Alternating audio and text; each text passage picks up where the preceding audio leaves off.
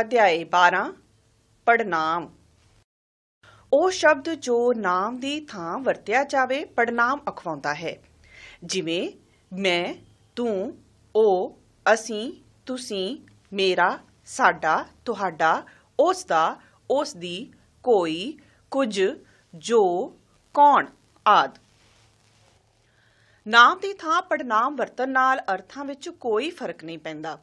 ਦੂਸਰਾ ਵਾਕ ਵਿੱਚ ਬਾਰ-ਬਾਰ ਨਾਮ ਦੀ ਵਰਤੋਂ ਨਾਲ ਭਾਸ਼ਾ ਰਸਹੀਣ ਹੋ ਜਾਂਦੀ ਹੈ। ਜਿਵੇਂ, ਮਨਜੀਤ ਨੇ ਫੈਸਲਾ ਕਰ ਲਿਆ ਹੈ ਕਿ ਮਨਜੀਤ ਵਿਦੇਸ਼ ਚਲੀ ਜਾਵੇਗੀ। ਮਨਜੀਤ ਵਿਦੇਸ਼ ਵਿੱਚ ਰੱਜ ਕੇ ਮਿਹਨਤ ਕਰੇਗੀ। ਮਨਜੀਤ ਦੇ ਇਸ ਫੈਸਲੇ ਨਾਲ ਮਨਜੀਤ ਦੇ ਪਰਿਵਾਰ ਵਾਲੇ ਵੀ ਖੁਸ਼ ਹਨ। ਇਹਨਾਂ ਵਾਕਾਂ ਨੂੰ ਪੜ੍ਹਿਆ, ਮਨਜੀਤ ਸ਼ਬਦ ਦੀ ਬਾਰ-ਬਾਰ ਹੋਈ ਵਰਤੋਂ ਅਖੜਦੀ ਹੈ। ਇਸ ਲਈ ਇਹ ਇਵੇਂ ਲਿਖਿਆ ਜਾਵੇਗਾ। ਮਨਜੀਤ ਨੇ ਫੈਸਲਾ ਕਰ ਲਿਆ ਹੈ ਕਿ ਉਹ ਵਿਦੇਸ਼ ਚਲੀ ਜਾਵੇਗੀ। ਉਹ ਵਿਦੇਸ਼ ਵਿੱਚ ਰੱਜ ਕੇ ਮਿਹਨਤ ਕਰੇਗੀ।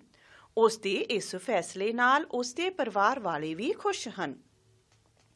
ਇਸ ਤਰ੍ਹਾਂ ਇਸ ਵਾਕ ਵਿੱਚ ਉਹ ਅਤੇ ਉਸ ਦੇ ਪੜਨਾਮ ਵਰਤ ਲੈਣ ਨਾਲ ਵਾਕ ਵਿੱਚ ਰਵਾਨੀ ਆ ਜਾਂਦੀ ਹੈ।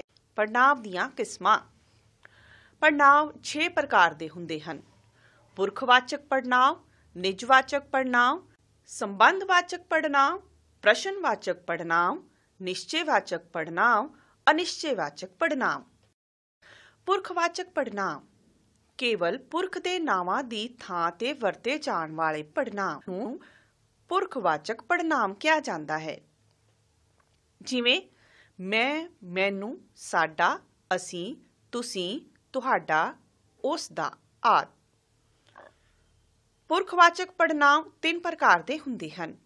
ਉੱਤਮ ਪੁਰਖ, ਮੱਧਮ ਪੁਰਖ ਅਨਿਆ ਪੁਰਖ। ਉੱਤਮ ਪੁਰਖ, ਗੱਲ ਕਰਨ ਵਾਲਾ ਉੱਤਮ ਪੁਰਖ ਹੁੰਦਾ ਹੈ। ਜਿਵੇਂ, ਮੈਂ, ਮੈਨੂੰ, ਮੈਥੋਂ, ਅਸੀਂ, ਸਾਨੂੰ, ਸਾਡੇ, ਆਦ। ਉਦਾਹਰਣ, ਮੈਂ ਬਹੁਤ ਖੁਸ਼ ਹਾਂ, ਅਸੀਂ ਘਰ ਜਾ ਰਹੇ ਹਾਂ। ਮੱਧਮ ਪੁਰਖ ਜਿਸ ਨਾਲ ਗੱਲ ਕੀਤੀ ਜਾਵੇ, ਉਹ ਮੱਧਮ ਪੁਰਖ ਹੁੰਦਾ ਹੈ।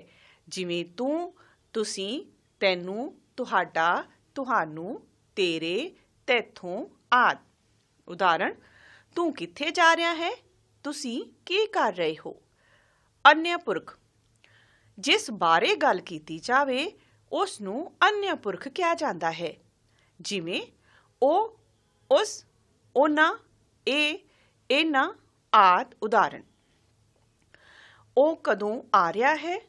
ਉਸ ਦਾ ਦਫ਼ਤਰ ਕਿੱਥੇ ਹੈ? ਨਿਜਵਾਚਕ ਪੜਨਾਮ ਉਹ ਪੜਨਾਮ ਜੋ ਕਰਤਾ ਨਾਲ ਆ ਕੇ ਉਸ ਦੀ ਵਿਸ਼ੇਸ਼ਤਾ ਦੱਸਣ ਉਹਨਾਂ ਨੂੰ ਨਿਜਵਾਚਕ ਪੜਨਾਮ ਕਿਹਾ ਜਾਂਦਾ ਹੈ।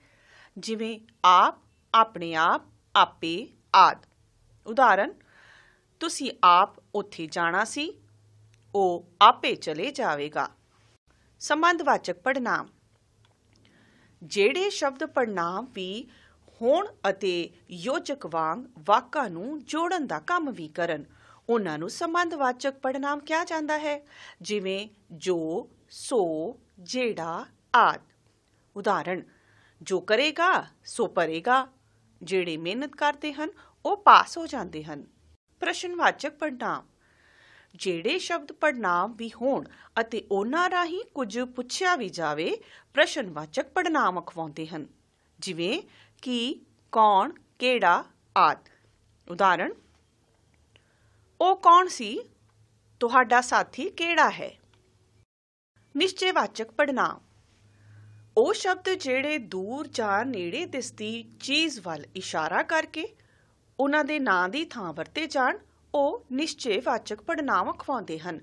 ਜਿਵੇਂ ਇਹ ਉਹ ਇਸ, ਉਸ, ਆਦ। ਉਦਾਹਰਨ, ਇਹ ਮੇਰਾ ਘਰ ਹੈ, ਉਹ ਰੋ ਰਿਹਾ ਹੈ। ਨਿਸ਼ਚੈਵਾਚਕ ਪੜਨਾਮ ਦੇ ਦੋ ਰੂਪ ਹਨ।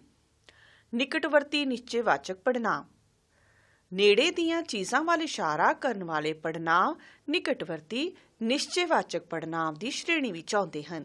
ਜਿਵੇਂ ਇਹ ਇਸ, ਇਹਨਾਂ, ਆਦਿ।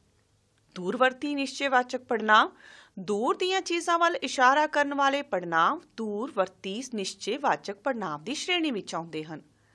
ਜਿਵੇਂ ਉਹ, ਉਸ ਉਹਨਾਂ ਆਦਿ।